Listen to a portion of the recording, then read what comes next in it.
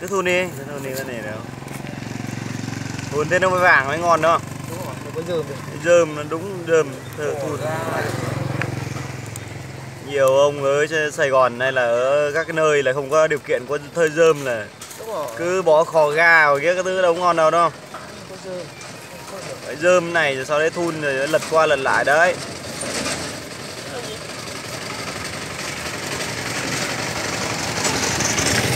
Dơm vào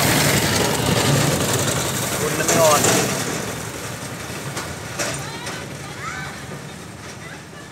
chỉ có ở quê này, này thun mới ngon.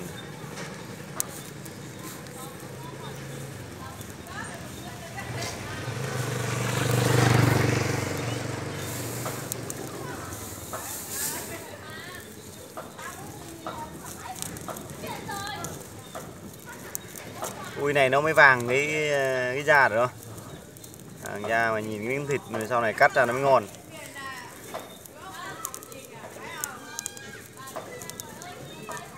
Này thường thì thui bao lâu thì nó mới được một con này? Tí thôi mà gần đấy cho nó khoảng 30 phút hả? Không đấy này.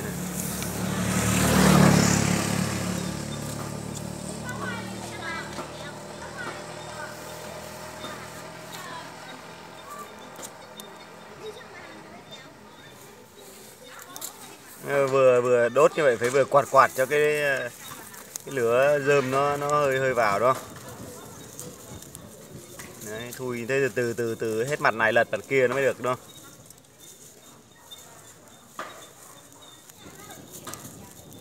ăn vào mới, mới, mới vàng ươm.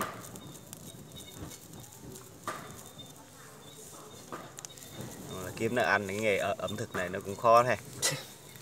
Không hề đơn giản. Đấy, vàng ươm mình thấy không lật bật bên kia. Bên kia vàng chưa? À, thêm tí nữa.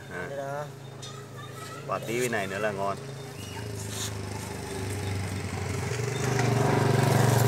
Bật lửa, lửa bên này. Có thiếu dơm không?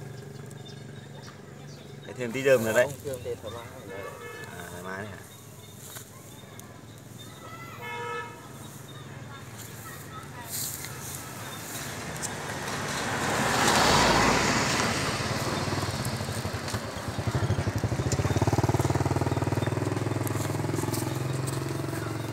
bình tĩnh bình tĩnh từ từ thôi mới ngon. đang đủ điêu rượu nhỉ à hả?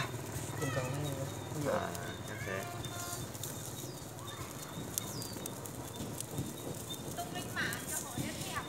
nó thèm à?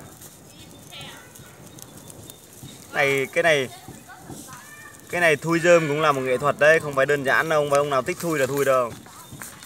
Không biết thui không làm sao biết thui được. Thui dơm cũng là một cách nghệ thuật thui luôn đấy nhé. Quạt nào nó tạt tạt qua nó cháy nó mới vàng chứ đấy. thui từ vàng từ cái chân luôn.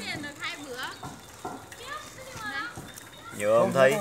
cái giữa khỏ đây này chứ. Khò thì còn ngon có gì ngon nữa